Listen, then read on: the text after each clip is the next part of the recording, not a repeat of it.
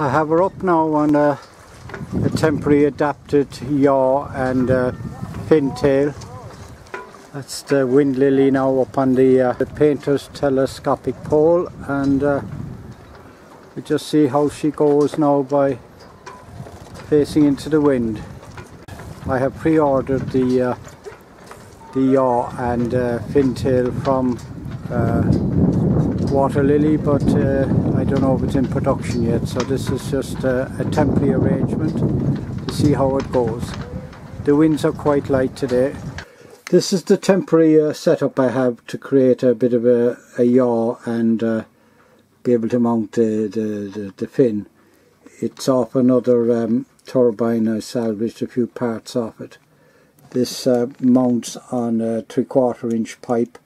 It fits nicely on my uh, painter's telescopic pole and you can clamp down. And this is just one of those um, bearings that you'd have on casters on uh, chairs and stuff like that. And again the action cam bracket to be able to mount the uh, the, the small to be able to mount the small fin tail. There's not much wind today but at least uh, it'll uh, test the concept of whether this this will work. And that's just a, a block of mahogany to um, to adapt from the, the, the swivel bearing to the bracket.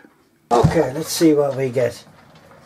Um, now I have bypassed the uh, solar charge controller and inside there's a, a buck converter. I passed I I bypassed all of them I'm only using the energy meter now um, going down to charge a leisure battery so as I said there's not much wind today but we'll see there might be the odd gust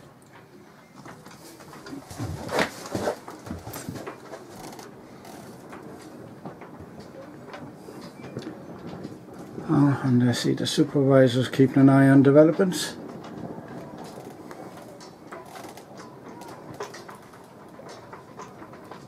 Oh man and his gadgets.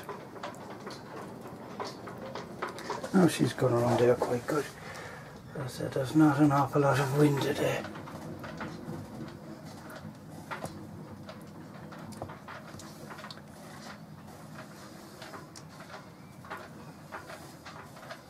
One issue I do see with this arrangement is uh, trying to keep the cable away from the blades and still leave enough of a loop uh, so that the uh, it can uh, yaw around. Um, you'd have to be keeping an eye on it if there was a wind shift, especially maybe during the night. I don't know. Not having a slip ring is a is a bit of a problem, but there again I can understand that because this is a dual function. Um, primarily as a, a, water lily and then to be able to put up for a, a Windlily, but. Uh, it's something I, I, I have sort of strapped there on the the arm of the tail and also coming down the pole. Um, yeah it's something you'd have to watch because the cable coming out the top is quite close to the uh, to the blades